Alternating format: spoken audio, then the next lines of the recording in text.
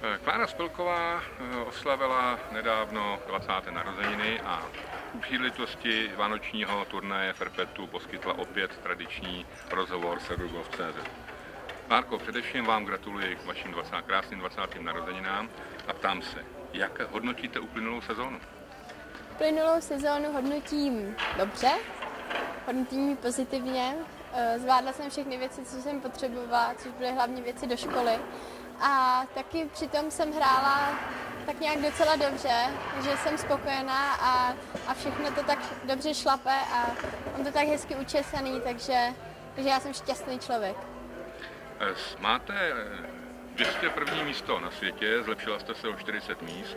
Jste 33. v Evropě, zlepšila jste se o 6 míst. Hrála jste 16 turnajů, ve kterých jste 13 krát prošla katem. To je hezký výsledek. Jste s tím spokojená? Budete něco moho? Cítíte potřebu něco zlepšovat? Ano, mys, jak jsem s tím velice spokojená, jak už jsem řekla, myslím si, že to je velice dobrá bilance. Jsem ráda, že se každý rok zlepšuju, tudíž ta křivka jde nahoru, eh, což si myslím, že je velice důležité, že nestagnuju, ale doopravdy je tam vidět nějaký ten progres a Samozřejmě je věc, hodně věcí, co bych ještě potřebovala zlepšit a já mám hrozně, hroznou radost a mi to hrozně baví ten golf. Můžu trénovat tak, jak konečně chci a jak bych si sama představovala. Takže já doufám a věřím v to, když doopravdy tomu dám těch 90-80%, tak, eh, tak to bude lepší a lepší a příští rok eh, doufám a troufám si říct, že budu třeba do 15. Letošní výdělek vám narostl o 10%. Budete v příštím roce hrát více turnajů? Více turnajů hrát určitě budu. Eh, bohužel jsme se tady asi rozhodli, že nepojedeme do Austrálie na začátku sezóny, protože eh, stojí to hodně peněz a nedá se tam vyhrát moc peněz. Samozřejmě, kdybych vyhrála, tak je to jiný.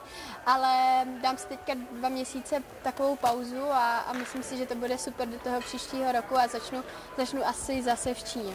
Ve srovnání s tím, jak to dělají ty nejlepší, vidíte věci, které nemáte, nebo neděláte, nebo případně na ně nemáte? Myslím si, že je to hlavně o tom tréninku, je to o té vůli, je to o, toho, o tom, jak toho, toho člověka hodně baví a co tomu dá. Takže, jak říkám, já teď já ten čas mít budu na ten golf a chci mu dát všechno, co budu moc, protože golf miluju. Vypadá to, že na olympiádu opravdu pojedete. Jak se těšíte? Tak ještě, ještě neříkám, že tam pojedu, protože sice jsem v tom žebříčku, ale vždycky se něco může stát, takže aby jsme to nezakřikli. Ale samozřejmě k tomu mířím a, a, a hrozně se těším. Jaký máte program na příští sezónu? Jaké jsou nejbližší turnaje a které turnaje eh, v příštím roce vynecháte? Tak jak už jsem říkala, první turnaj bude asi znovu v Číně a jinak ty ostatní turnaje už bych chtěla hrát všechny, skoro úplně všechny, takže to vychází na nějakých okolo 20 turnajů, což je, si myslím, že už hodně pěkný. Finance, sponzoři, zajištění příští sezóny. Jak jste, Klárko, na tom? Myslím si, že jsem na tom dobře. Samozřejmě na Austrálii asi penízky ne, ne, nezbudou, nebudou, uh, ale myslím si, že i tak, když dokážu odehrát 20 turnajů, uh, tak je to skvělé. Mám uh, spoustu malých, menších sponzorů, samozřejmě uh, není to ještě v hodnotě, co bych si představovala, ale, ale lepší se to a, a mám z toho radost. Někde jsem četl, že vás ve 20 letech už nemáme považovat za mladou. Co vy na tom? Tak myslím si, že samozřejmě já budu mladá vždy, protože moje duše je mladá, takže to je úplně skvělý a když mi prostě bude 20, tak jako někdy si může myslet, že jsem mladá a nikdo ne, takže to je úhel pohledu, ale já se cítím mladá a myslím si, že to ještě dlouho budu mladá cítit. Máte napečené cukroví, Marko? Jsem tady pár dní a nemám, ale tak už, už divu vždycky od někoho a to mi úplně stačí. o co jste si napsala Ježíškovi?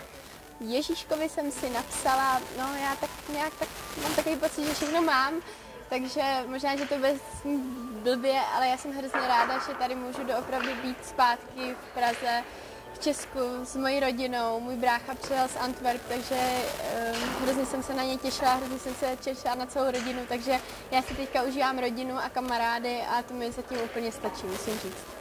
Marko, a poslední otázku, co kluci, budete se vdávat? tak dávat se zatím nebudu, to se musíte zeptat Honzy, ale eh, kluci skvělí a já jsem ráda, že mám, že mám Honzovi takovou podporu, jakou mám, takže děkuji. Kláro, já děkuji za rozhovor, přeju vám všechno nejlepší k Vánocům a všechno nejlepší do nového roku a těším se na shledanou. Děkuji a já samozřejmě zdravím všechny čtenáře Gold.cz a přeju všechno nejlepší do nového roku, ať se máte ještě líp, než se máte teďka.